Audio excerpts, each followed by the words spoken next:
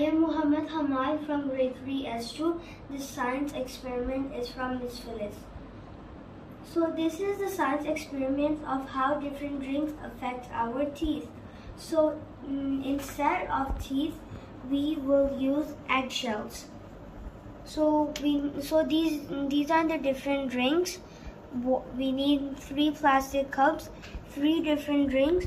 For example, water, fresh juice, and cola or any other soda.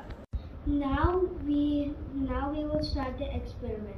So first we put the eggshells in the liquids or drinks.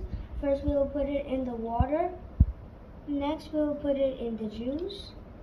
Next we'll put it in the soda or cola.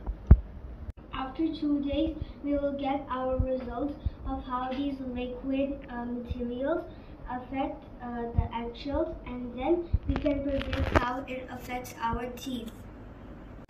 After two days, we have our results. Let's see what happened to the eggshells.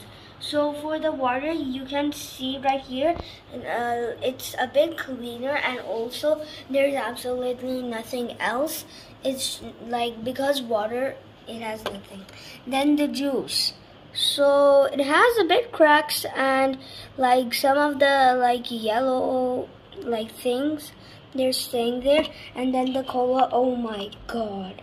It has a bunch of cracks. It's so brown and it's so dark brown. And even um, you can see it's coming off. So that means like these are the gums which are coming off here